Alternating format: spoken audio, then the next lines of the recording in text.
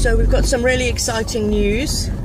Uh, we have, as a community, decided to get some land and to start growing our own veg.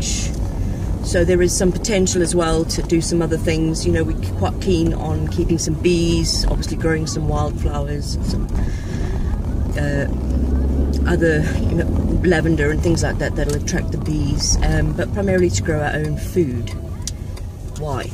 Well, because whether we want to accept it or not, there are forces at work that uh, are really determined to strip away our humanity, to strip away a very simple fact that we are essentially spiritual beings having a human incarnation. However, the plan from the Dark Lord was to deceive the hearts and minds of people. So that brings us to a question about what part of us is made in the image of God. We read in the scriptures that we're made in the image of God. What part of us is made in the image of God? So this is a question I ask quite a lot. And uh, after years and years and years of seeking the face of the Lord to understand this, I do believe it is our mind that is made in the image of God.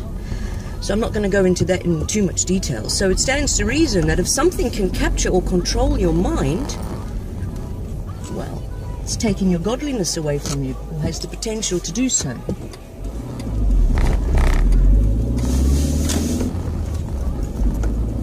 So we're growing our own food because when you take responsibility for yourself, that is when you have freedom. And that's the bottom line. You are not a prisoner, even if you are behind bars, until you accept that you are a prisoner. Your mind is your most precious gift that you have to guard.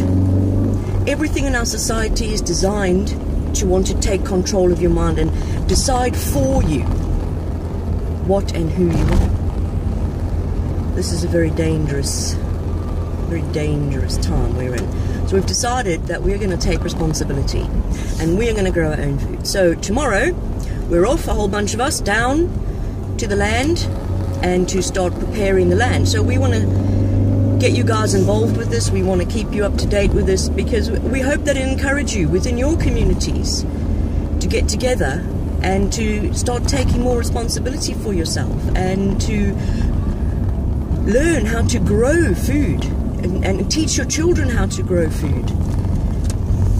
We've just seen it was Black Friday. You know what I mean? So I've got a shop. It was a very Black Friday for me.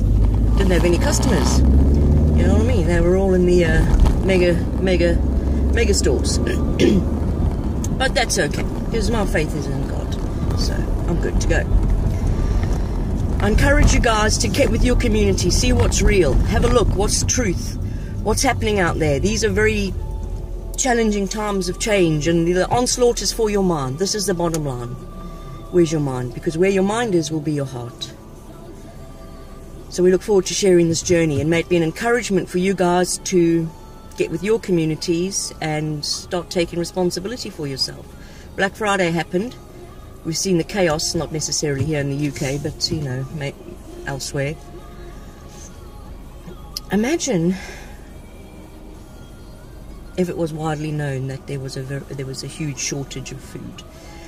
What would the state of the supermarkets be? It would be Black Friday, Black Friday, Black Saturday, Black Sunday, until there was nothing left, and then people would turn on each other because people have the faith in the system, you know. No one ever thinks that tomorrow the shop might not have any produce to sell. So we've decided to take some responsibility and we hope you join us in this journey and I hope that it encourages you guys to get with your communities and start taking responsibility because with, when you take responsibility for yourself, you have freedom.